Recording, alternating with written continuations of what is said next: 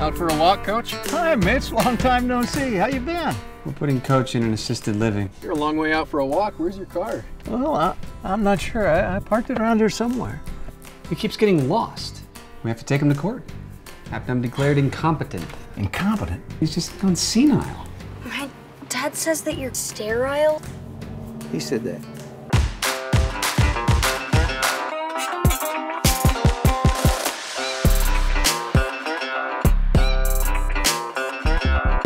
You been going to that skate park?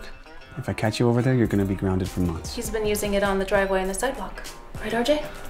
The guy that just showed up is my grandpa. Hey, guys, is that as hard as it looks? I certainly wouldn't try it at your age, mister. Dad, what were you thinking? Someone your age on a skateboard. Am I in trouble? Your secret's safe with me. Sweet!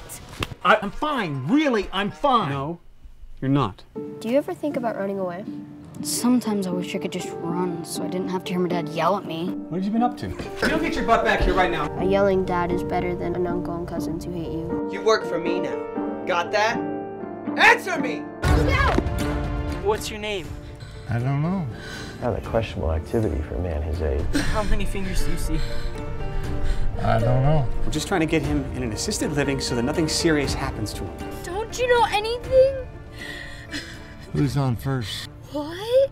no, no, no. What's on second?